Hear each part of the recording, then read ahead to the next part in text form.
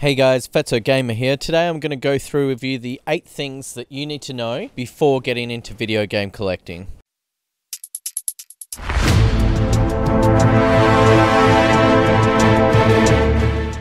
So the first thing is that you're going to need is space. So you're going to need somewhere to put your collection. Now, this sounds pretty obvious, but you need something that you can grow into. So when I started, I had these old video game shelves that were already in my house. And basically, what I wanted to do when I started out is I just wanted to fill them so that the covers were facing. Then it ended up that I wanted them so that all the spines were facing. Then I had to buy extra shelving so another three DVD stands in order to put them all in. Plus, I had to get shelves for all my figurines and things like that. So you need somewhere where you can one sit down and admire your collection because it's going to be a lot of hard work and it's something that you are going to want to display and take in.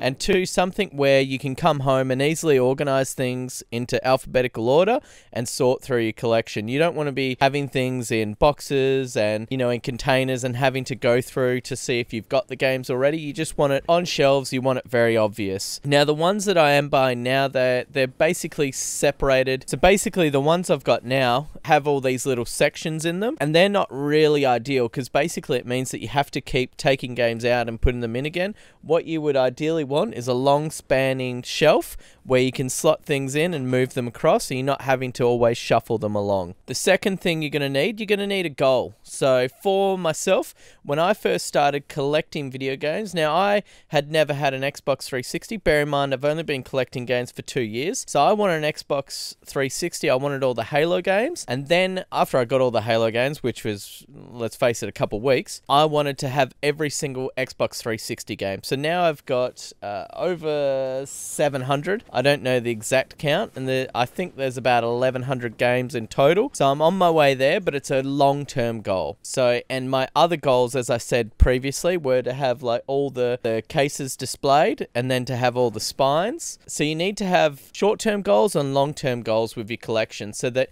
you're always buying for something as well. Next thing you need, which is the biggest one, or one of the biggest ones, is you need to educate yourself. So you need to learn how much games sell for, learn how much things sell for individually, the best way to sell them. Things like when I first started, as I said, I started with Xbox 360. I got about 30 games, and I think I paid, what was it, about $4 a game, which two years ago wasn't too bad. Got them home, I was super excited. They were disc only, but I was still excited. Turns out that they were all burnt games. I um, literally didn't know the difference between what a burnt game looked like and what an original game looked like. So I, I got a bit burnt, pardon the pun, on that one.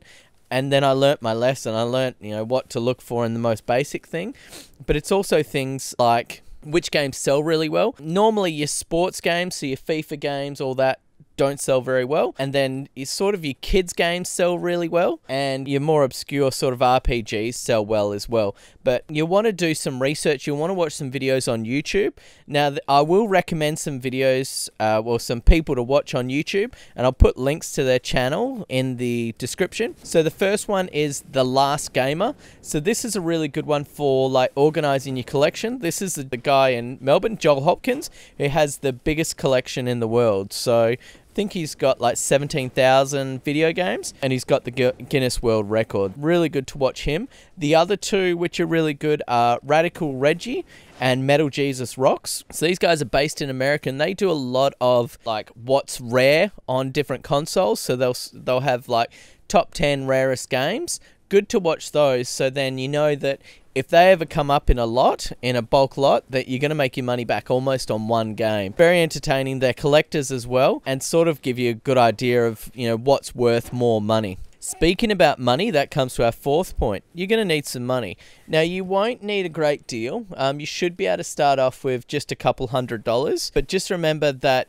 it can take a while for the games to sell, especially if you're selling for a decent price. Like some of my games now take like three, four months to sell. So you have to sort of not spend more than you can afford. So, you know, you'd never spend rent money or money for bills on games because you might not get it back straight away, but you shouldn't need to invest too much. The thing that can happen though is you might get something really, really cool. You might get this really rare game that's worth $200. However, you might need to sell that in order to fund more of your collection because hanging on to that game at the moment might not be worthwhile for you. Even things like, you know, if you pick up some Xbox One games, for example, and there's some new release ones there, like let, let's say NBA 2K18. So you've got a lot of games and one of those games was that. Now, yes, you know, it would be good to add it to your collection. However, you know, right now you can probably get a decent amount of money for it because it's pretty new. Mm, so you could sell it off, and then in six months' time, you can probably pick it up for like 10 bucks. Got to sort of think of things like that as well. What's going to build your collection fastest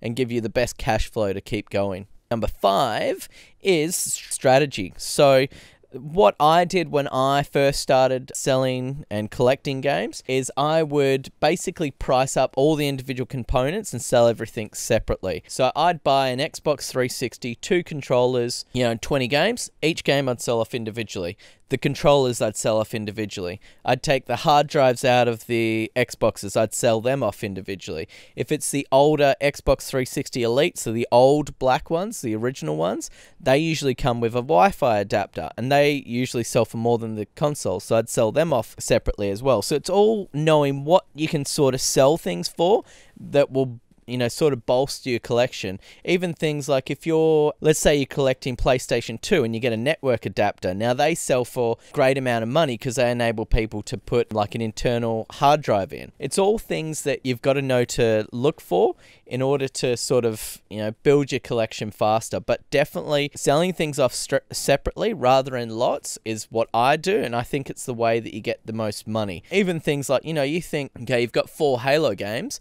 Why not sell all four of them off together and you know make a you know sell a lot at a lot of time people get a good deal you know it, common sense would say yeah that's that's a great idea however someone might only be uh, after like Halo 4 and they don't want the other three, so why would they pay extra for it? So selling them off individually makes more sense, and then it's more of an emotional buy for people. They're not just buying to say, oh yeah, I'll buy like four games or 20 games. They're buying because they're saying, oh look, I'm looking on eBay for Halo 4. I really want this. Oh, I can get this one pretty quick and it's the cheapest one on there. Yeah, I'm buying it.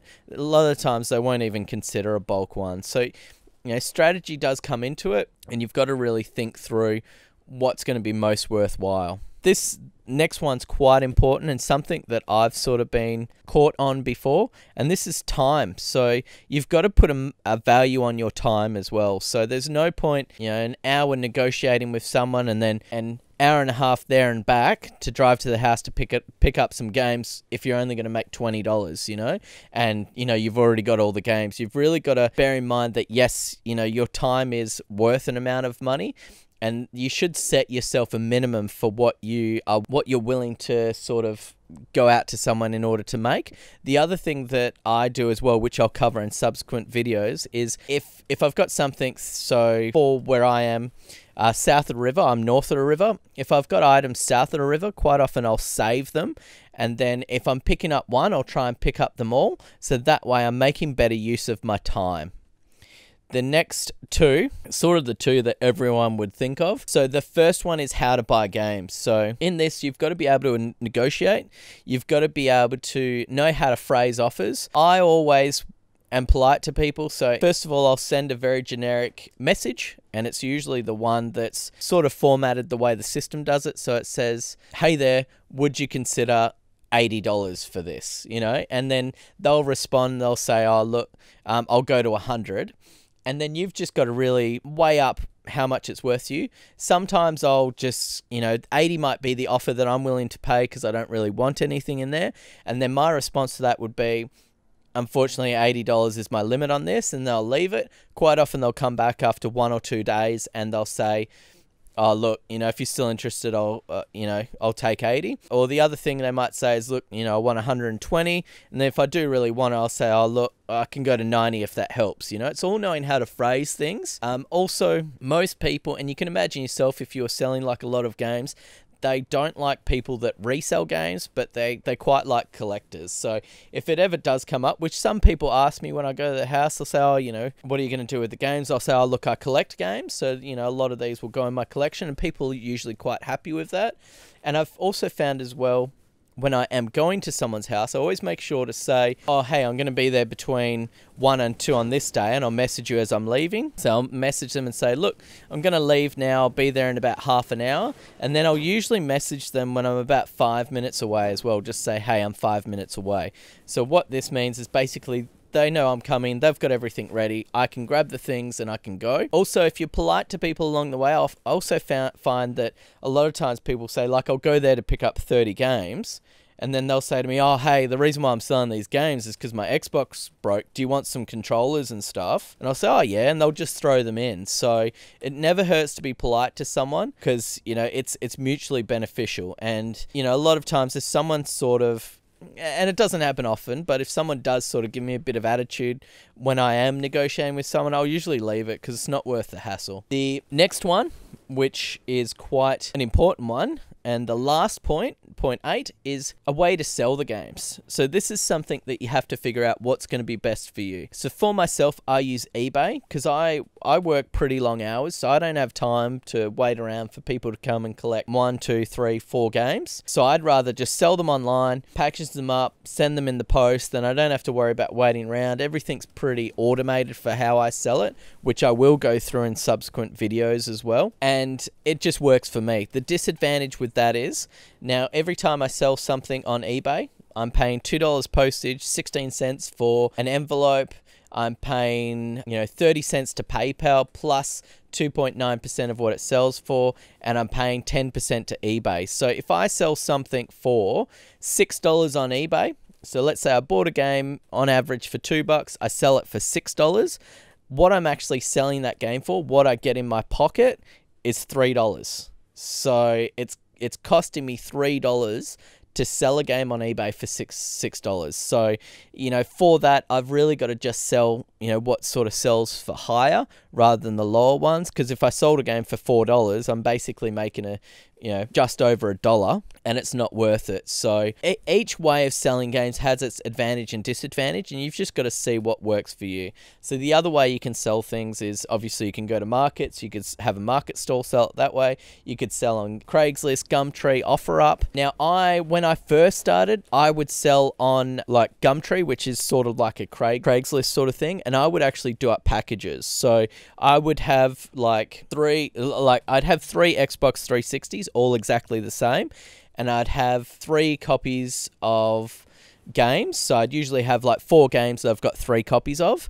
And I'd advertise it so Xbox 360 with one controller, which would usually be a wired controller, and four games for like, you know, $60 or something like that. So basically, the games uh, I couldn't sell if even if I wanted to. They'd be worth about two dollars each. The console, yeah, it's you know probably worth about you know forty dollars something like that, and then the controller would be worth about 10 bucks or something like that. So basically, I'd be getting all my money for it, but it'd give someone a bit of a package. So then I'd sell it a bit quicker. And I'd always advertise just one, but I'd have three of them. So then people would keep inquiring and then I'd be able to sell more off it. And that sort of helped my cash flow in the early days. I, I don't recommend packaging up too much. You just want to give people a couple games.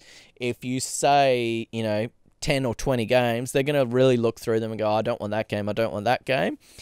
And it's it's just not going to be worth it for them. So you want to keep it as simple as possible and get the price points down. So for where I am in Australia, if things go over $100, people sort of start, you know, thinking, oh, you know, I don't know if I want that 50, 60 bucks is pretty much a no brainer. That's something that, you know, a parent would buy for their kids for the school holiday so they got something to do.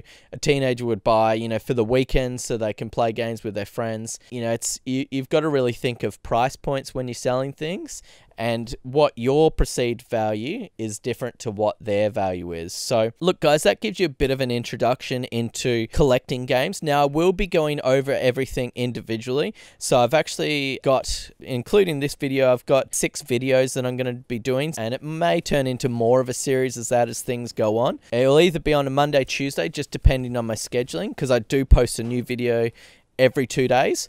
So if you could hit the subscribe button and also hit the little bell next to it, when I do have my next one up in the series, you will be notified on that. And the next one that I'll be doing is how to buy games. So a pretty important one.